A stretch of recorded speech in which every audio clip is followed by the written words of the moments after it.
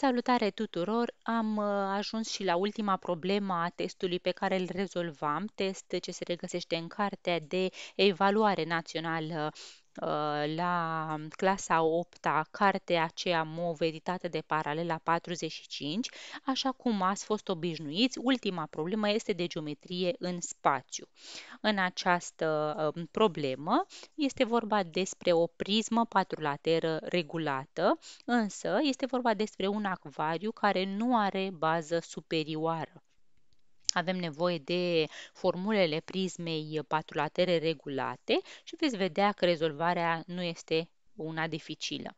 Haideți să citim enunțuri probleme și vedem care este uh, modalitatea de rezolvare pe care eu am găsit-o. Cristina are un acvariu din sticlă, având forma prismei patrulatere regulate A, B, C, D, A', B', C', D', fără bază superioară, din figura alăturată. Înălțimea prismei este egală cu 30 de cm, iar latura bazei este egală cu 40 de cm. Cristina toarnă în acvariu 32 de litri de apă. Prima cerință este să determinăm suprafața sticlei necesare pentru fabricarea acvariului. Uh, la prima vedere ați spune că suprafața întregii prisme este aria totală. Atenție, nu se aplică această formulă în problema noastră, deoarece uh, această prismă patrulateră ABCDA prin B prin C', ce reprezintă un acvariu, nu are și plafon, nu are și partea superioară.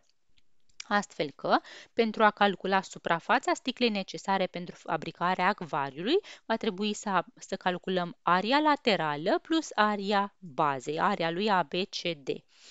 Dar aria laterală, de fapt, reprezintă aria lui ABB' A' înmulțit cu 4, deoarece avem 4 fețe laterale egale.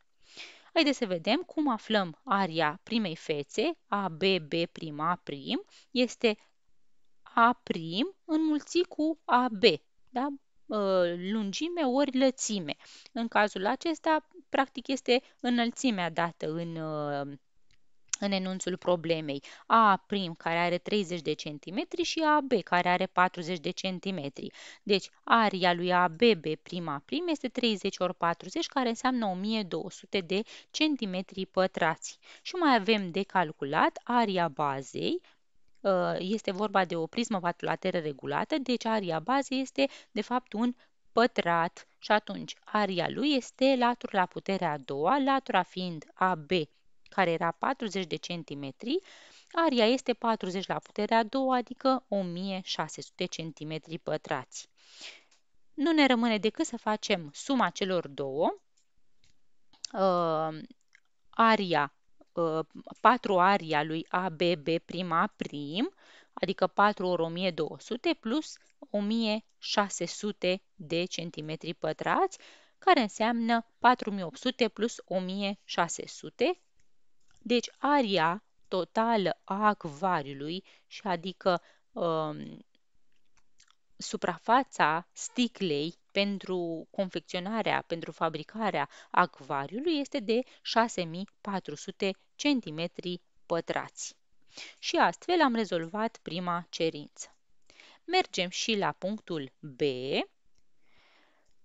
O tijă cu lungimea de 60 de cm este scufundată în acvariu demonstrează că putem proceda astfel încât tija să fie complet acoperită de apă.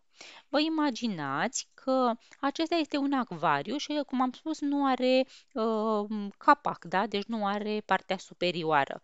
Dacă vin cu o tijă, cu un băț, practic, eu pot să-l pun, uh, tija are 60 de centimetri uh, lungime, iar înălțimea Uh, prizme era de 60 cm. Practic, dacă eu îl pun în poziție dreaptă, adică perpendicular, tija mea este pe jumătate în exterior.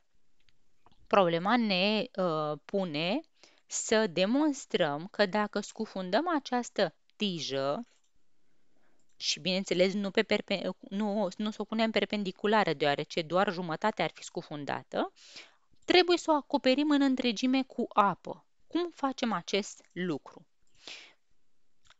În primul rând, trebuie să calculăm care este înălțimea apei, pentru că această înălțime uh, de 30 de centimetri este a întregii, uh, a, a, a întregului acvariu. Este întreaga înălțime a prizmei, dar apa Uh, volumul de 32 de litri, de fapt, are o altă înălțime. Nu a, nu a spus problema că apa este, acvariul este complet umplut cu apă. Apa este la uh, limita uh, înălțimii, cum spunem practic, umplut ochi. Și atunci vedem uh, cât reprezintă această apă și uh, care este înălțimea la care ajunge apa în acvariu. Vă imaginați că după ce umplem, uh, turnăm această apă, uh, nivelul apei, suprafața apei, luciul apei, reprezintă de fapt un alt plafon. Acolo ni s-ar termina prisma noastră. De fapt, se construiește, se consideră o nouă prismă cu partea superioară luciul apei. Și atunci aplicăm formula volumului, adică 40 înmulțit cu 40, cât reprezintă baza, lungime ori lățime, cum ar veni, ori înălțime, dar înălțimea este a apei pe care noi trebuie să o calculăm. Și este egal cu 32 de mii. 32 de mii reprezintă volumul apei. Am transformat aici volumul apei egal 32 de litri cât toarnă Cristina în acvariu în 32 de decimetri cubi, tocmai pentru a ajunge la valoarea uh, de centimetri cât, încât este exprimată baza, lungimea bazei. Noi știm că un litru e egal cu un decimetru cub și astfel 32 de litri egal 32 de decimetri cubi. Pentru a transforma în centimetri, practic trebuie să coborâm o singură treaptă, având uh, uh, unități de volum, deci decimetri la puterea a treia, noi vom mulți cu 1010 la puterea a treia și astfel, din 32 de decimetri cubi, obținem 32.000 de centimetri cubi. Da? Și atunci, uh, volumul uh, 40 ori 40 ori înălțimea este egal cu 32.000. 40 ori 40 reprezintă 1600 mulțit cu înălțimea apei egal 32.000, de unde obținem că înălțimea apei este 32.000 împărțit la 1600, care înseamnă 20 de centimetri. Deci, dacă uh, întregul acvariu avea înălțimea de 30 de centimetri, turnând apă, doar până la înălțimea de 20 de centimetri este umplut. Diferența de la 30 la 20 o reprezintă acvariu gol. Pentru ca tija să fie acoperită complet de apă, trebuie să o poziționăm pe cea mai mare distanță din interiorul acvariului, adică diagonala prizmei formate cu plafonul, cum am spus, format de apă, pentru că noi ne raportăm la nivelul apei, pentru ca tija să fie acoperită cu apă. Deci, trebuie să calculăm diagonala prizmei cu înălțimea de 20 de centimetri. Am desenat încă o dată acvariul și am reprezentat apa prin această um, curbă, această linie curbată. Și considerăm punctul H, punctul acolo unde se termină apa în, um, în acvariu. Deci DH este acel 20 de centimetri pe care noi l-am construit. Diagonala pe care noi trebuie să o aflăm este din, dintr-un punct pe diagonală, punct inferior, până la un punct superior, adică acest BH, dacă vreți. Putea fi și AH, celălalt uh, punct uh, opus uh, lui A, sau orice altă diagonală. Deci, în cazul nostru, trebuie să calculăm BH. Dacă acest BH este mai mare sau egal cu 60 de cm lungimea tijei, înseamnă că tija poate fi scufundată în acvariu, fiind acoperită complet uh, de apă. Haideți să vedem.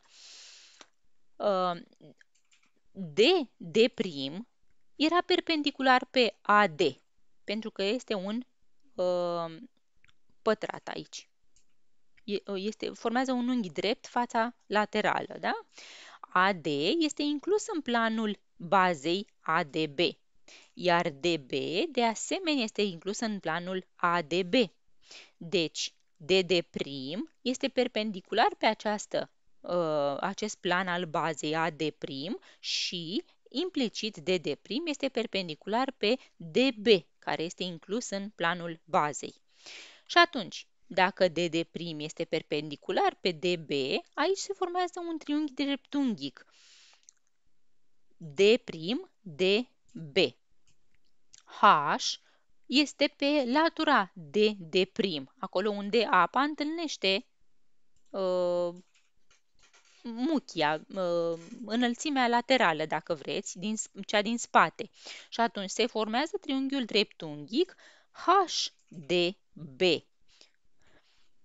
în care unghiul D sau HDB este unul dreptunghic. Diagonala bazei reprezintă diagonala într-un pătrat, deci este latul radical din 2. dB poate fi calculat.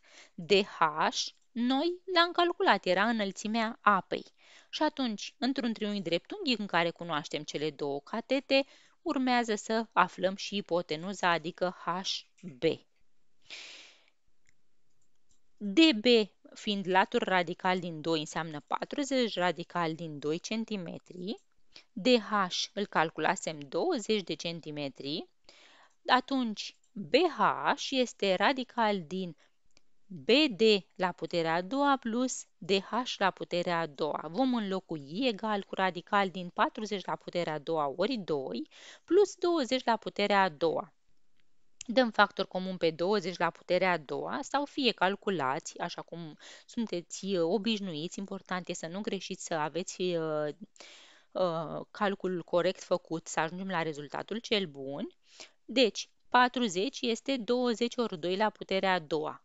Deci înseamnă 20 la a doua ori 2 la a doua ori 2. Dacă dăm factor comun pe 20 la a doua, rămâne 2 la a doua ori 2 și plus 1 de la celălalt termen. Deci, a, a, uh, lungimea diagonalei BH este egal radical din 20 la a doua înmulțit cu 2 la a doua este 4, înmulțit cu 2, 8, plus 1, 9. Deci de sub radical va ieși un 20 de la 20 la a doua și un 3, pentru că 9 înseamnă 3 la a doua.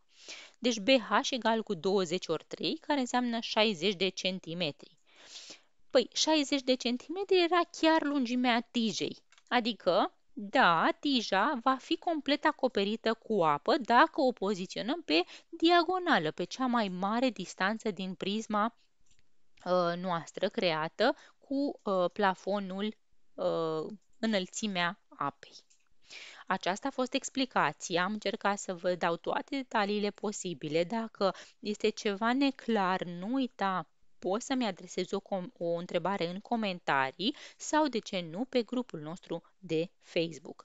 Până data viitoare, îți urez să ai sport la lucru, nu uita să rămâi aproape, să fii abonat și să ai notificările pornite, pentru că urmează să rezolvăm și alte teste o sumedenie de probleme de algebră și geometrie menite să te ajute în procesul tău de învățare în pregătirea evaluării naționale. Eu îți țin uh, pumnii, îți urez succes și ne vedem data viitoare. Pa, pa!